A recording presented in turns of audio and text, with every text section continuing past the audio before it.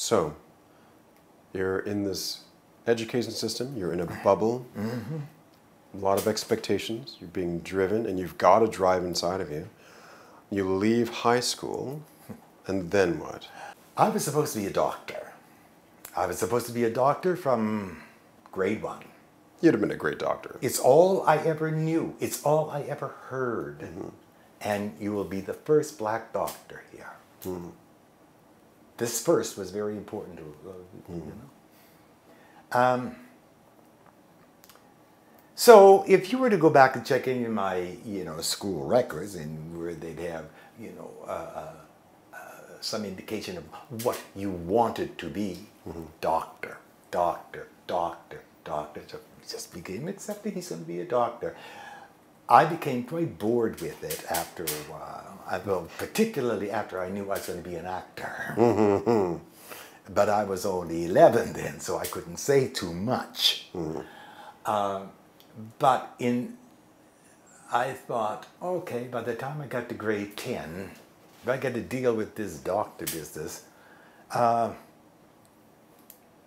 what would be a more interesting part of this doctrine? Well, I thought psychiatry. Because by then I'm thinking a lot about how people were thinking and why they were thinking it. Mm-hmm. So it became, what do you mean? Psychiatrist, psychiatrist, psychiatrist. So he graduates and he goes into pre med, of course. Of course.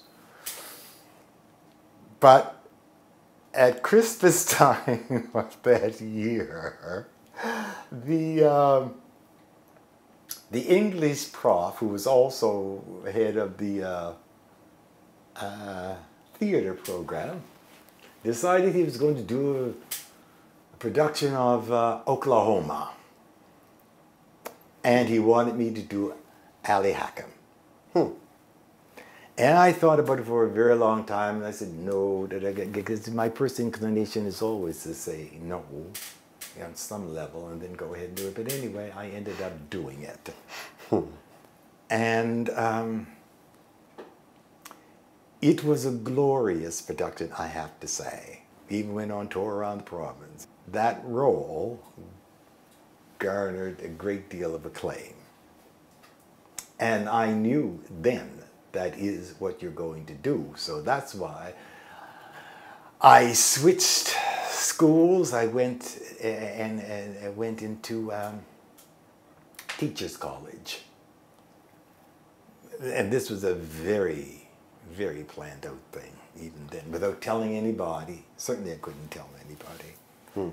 Um, I never could tell anybody that I was going to be an actor. How could I not in Nova Scotia?